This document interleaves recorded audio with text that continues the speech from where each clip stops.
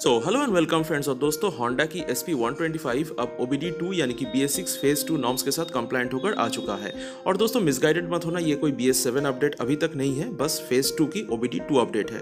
और दोस्तों चेंजेस के तौर पे अभी आपको ये नेवी ब्लू कलर के साथ नियॉन के स्टिकर्स मिलेंगे, जो कि पहले ब्लैक कलर के साथ मिलता था। और साथ ही में दोस्तों O B D two compliance यानी कि इथानॉल ट्वेंटी परसेंट वाली पेट्रोल से भी, जो जो कि बाद में आएगा, आप इस गाड़ी को चला पाएँगे। और साथ ही में दोस्तों, एक बहुत ही बड़ा सा अपडेट हुआ है कि पीछे का जो टायर है, इसकी डायमीटर को चेंज करके अब 180 एट्टी बाई 18 कर दिया गया यानी कि और ज़्यादा चौड़ा बना दिया गया स्टेबिलिटी इंक्रीज होगी और दोनों ही टायर्स की जो ग्रिप है, उस ग्रिप को यानी कि थ्रेड पैटर्न को चेंज कर दिया गया है।